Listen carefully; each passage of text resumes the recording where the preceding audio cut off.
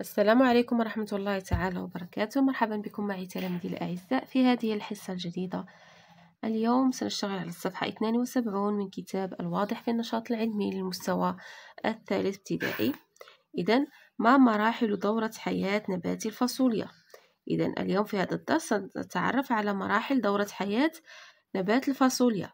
يعني سبق وأن رأينا في الدرس السابق دورة حياة حيوان. اليوم سنتعرف على دورة حياة نبات. إذا الهدف التعلمي هو أرتب مراحل دورة حياة نبات زهري. النبات الزهري هو النبات الذي يعني آه، تكون يعني النبات ديالو يعطي أزهارا. بحال مثلا هذا فهو نبات زهري. إذا الفاصوليا فهو نبات زهري. إذا نبتة الفاصوليا تعطي أزهارا والأزهار تتحول إلى إلى الثمار. إذا أنطلق. ألاحظ صورا لبعض مراحل نمو نبات الفاصوليا وأقترح ترتيبا منطقيا. لها اذا هنا في الصور كنلاحظوا عندنا مراحل نمو نبات الفاصوليا. غادي نحاولوا نعطيها واحد الترتيب. اذا شنو هو يعني المرحلة الأولى الثانية إلى آخره.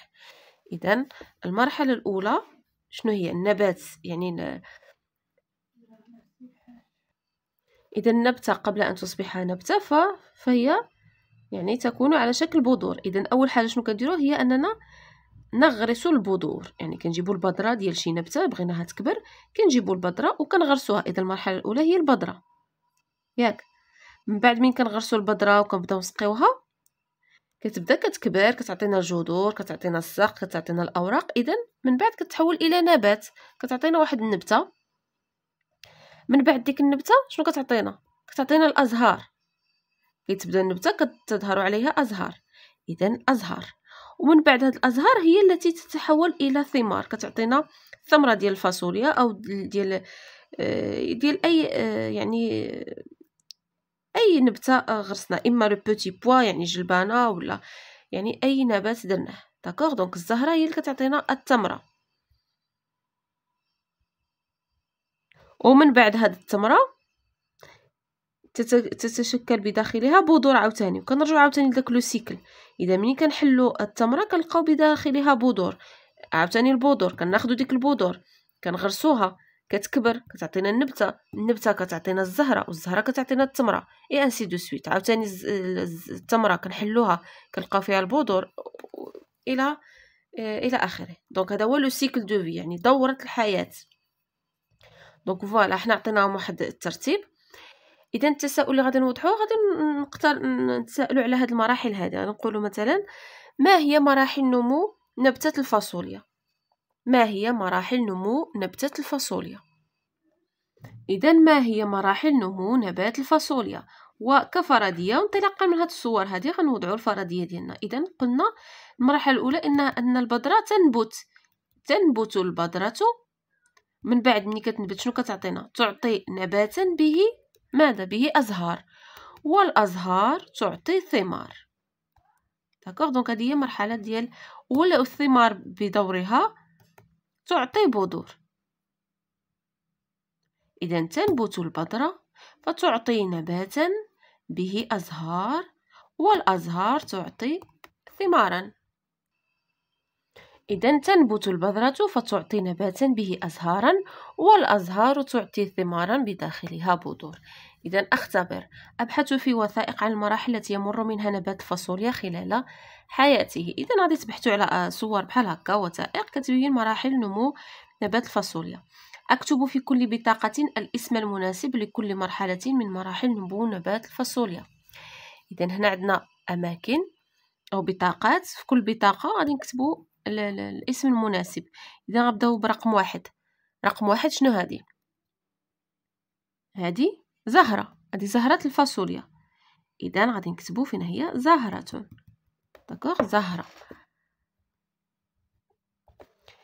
الزهرة اش كتعطينا شنو هادي؟ هادي هي الثمرة ديال الفاصوليا. غادي نكتبو ثمرة. d'accord ثمرة. زهرة كتعطينا ثمرة والثمرة شنو بداخلها شنو هذه البذور أو بذرة هذه بذرة. d'accord؟ donc هذه اللي كتكون داخل في, الثمرة. إذا بذرة. البذرة شنو كنلاحظوا فيها؟ شنو بدات كتعطينا؟ بدات كتنبت. شتي؟ بدات كتنبت. إذا انبات البذرة. انبات انبات البذرة. انبات البذره من بعد من البذره بدات كتنبت شنو بدات كدير؟ شنو بدات كيتكون لها؟ شنو هادو؟ نمو ماذا؟ نمو الجذور. يعني بدات كتنبت وكتشد في الأرض بالجذور ديالها. بدات كت... كتوغل في باطن الأرض بالجذور ديالها. دونك نمو الجذور. نمو الجذور.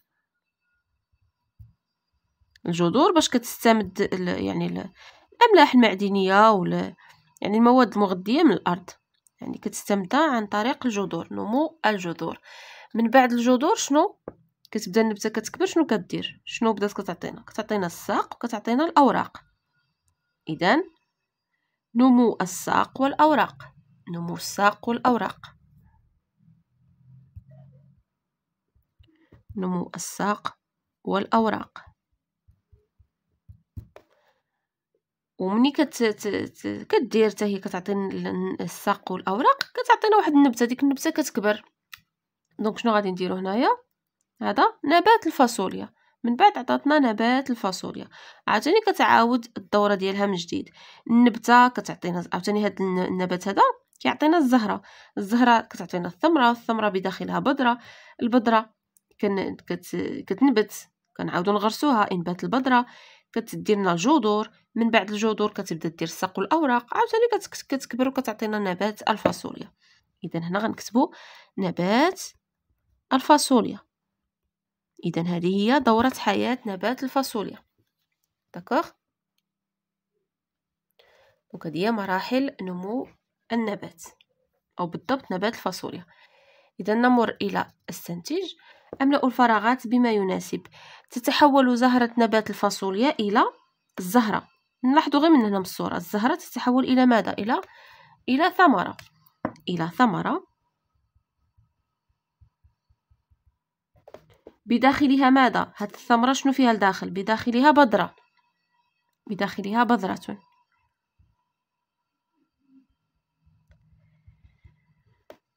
تنبت. شكون اللي كتنبت؟ إنبات ماذا؟ إنبات البذرة. تنبت البذرة فتعطي ماذا؟ شنو كتعطينا؟ كتعطينا نبات. تنبت البذرة. فتعطي نباتا. كتكبر كدير الجذور والساق والأوراق. إذا نبات. فتعطي نباتا. ينمو. هذا النبات ينمو. فيكون ماذا؟ فيكون عاوتاني الازهار أو فيكون زهرة. فيكون زهرة.